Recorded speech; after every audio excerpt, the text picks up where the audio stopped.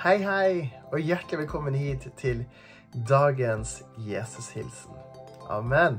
Det er godt å kunne ha en sånn video og bare takke Gud både for dagen og for det som kommer, og kjenne så takknemlig. Jeg er glad for å være i live. Jeg er glad for at jeg lever. Jeg er glad for at jeg har håp i livet. Jeg er glad for at jeg kjenner Jesus. Jeg er glad for at jeg er frelst. Jeg er takknemlig for alt han har gjort i livet mitt. Jeg er takknemlig for at jeg har mat på bordet, for at jeg er frisk, at jeg ved god helse, for at jeg bor i Norge. Jeg er takknemlig for at jeg kjenner han, at jeg kjenner Jesus, som har gjort store underverker i meg og de rundt meg, og rundt om på mennesker, røk ved de, og at han er håpenes håp. Jeg vet at med Jesus så har jeg alt. Og har jeg alt uten Jesus, har jeg ingenting. Har jeg ingenting med Jesus, så har jeg alt. Tenk det. Det er noe å tenke på. I dag så har vi hatt um, utrolig fint søndagsmøte, faktisk, ja, på, på sånn Zoom. Så det var veldig kjekt. Det var en gjeng på ti stykker som var med, og det var veldig fint å dele om Guds rettferdighet og Jesus sin trofasthet. Det var, det var kjekt. Absolutt.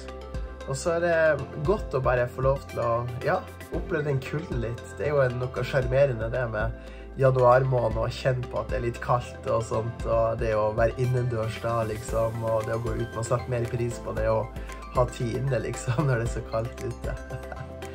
Men, eh, men min oppmuntring til deg er at eh, ja, ta tilflukt til Jesus. Se på han, skue han, være med han.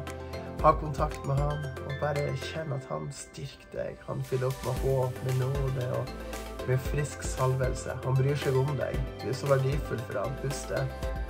Du har alt i han. Så bare vet at du kan hvile i Guds nærvær. Ta deg tid til å bare slappe av i han og la han betjene deg med sin kraft og med sin ånd. Dagens tema er bønn. Yes. Bønn. Hva er det for noe? Bønn er fantastisk. Det er godt. Det er godbiter. Det er liksom fantastisk bra. Fordi du, du, gjennom bønn så har du kontakt med den levende Gud. Amen.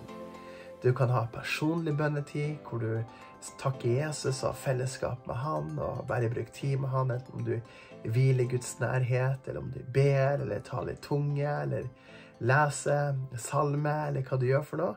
Eh, og så kan du òg be for andre mennesker igjen. Og det å be for andre, det er kraftige ordene. Og det er fordi at ord er skapende. Gud han sa 'la det bli lys', og så ble det lys. Og eh, han er allmektig. Så når du da kobler deg på Gud i bønn, så setter Guds ånd i sving, og så setter engler i sving til å være med og bringe bønnesvar og til å gjøre ting på himmelens vei. Så bønn er en sånn nøkkel i livet, så vi kan få lov til å ha det å be, det å hvile Jesus og ha, ha det som vane. Så, så start morgenen din med å be. Start morgenen din med å prise Gud med en gang du hopper på senga. Bare sånn Halleluja, takk, Jesus. Takk for at jeg er frelst. Takk for at jeg kjenner deg. Fyll meg opp med kraft, med din ånd og med din kjærlighet. Og så kan du da få lov til å bare ha en sånn der en, en fellesskap med Gud. Fokus på ham der du ber, og kjenner at du ber. Det står skrevet i um, Markus 11,24. Derfor sier dere alt dere ber om når dere ber, tro at dere mottar det, og det skal bli gitt dere. Så i bønn er det òg det at du ber om noe, så du tro for at det skal skje. Så tro er også med å forløse bønnesvar. Men bønn er jo rett og slett å komme frem for Gud og takke Han for ting, be. Og Jesus lærte oss jo å be Fader vår, du som er i himmelen. Eh, hellig være ditt navn, og, og så videre. Og så kan du òg få lov til å bare be og takke Gud med, med takkebønn. Og prise Han og være takknemlig for det Han gjør i ditt liv. Fordi det Gud gjør i livet ditt, er stort. Så bare ha fokus på Han. Ha fokus på Jesus og fortsett å be og gi ikke opp. Dagens bibelvers er Matteus 7, 7-8, der det står Be, og det skal bli gitt dere. Let, og dere skal finne. Bank på, og det skal bli åpnet opp for dere. For hver den som ber, han får. Den som leter, han finner. Og den som banker på, skal bli åpnet opp for. Så her har vi en nøkkel for hva vi kan gjøre. Vi kan få lov til å lete. Så når du er desperat etter å finne ut sannheten om kristendommen, om Jesus, om frelse, om helbredelse, om Guds nåde, om skapelse, så vil du finne det rette. Det er det som er. Let, og dere skal finne. Når du banker på himmelsdøra bare sånn 'Jesus, møt meg. Jesus vil ha kontakt med deg. Jesus, jeg vil erfare deg.' Så skal det åpnes opp for deg. Yes. Og når du ber, om at eh, ting du trenger i livet, ting du ønsker i henhold til Guds vilje, så vil det skje. Fordi du ber ut fra Guds løfter og Guds timing.